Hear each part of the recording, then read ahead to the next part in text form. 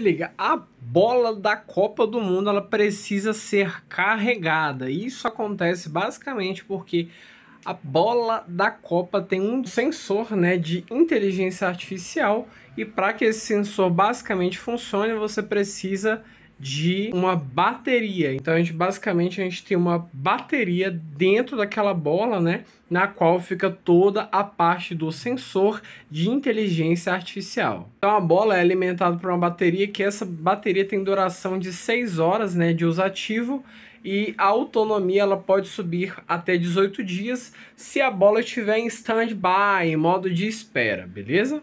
Então, basicamente aqui embaixo a gente tem várias bolas, né, como vocês estão vendo, e vocês estão vendo que tem um carregadorzinho que na qual esse carregador ele está carregando essa bateria, bem inusitado, né?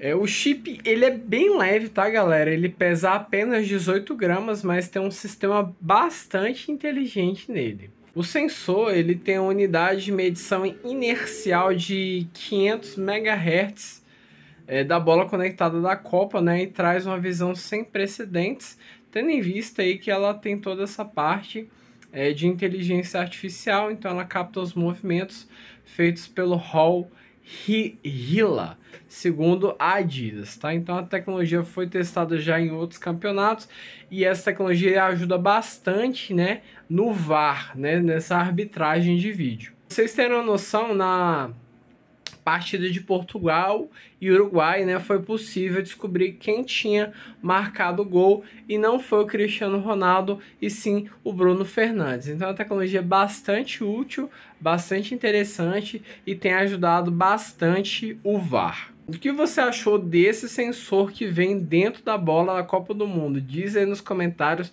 siga a gente nas redes sociais e dá aquele likezinho.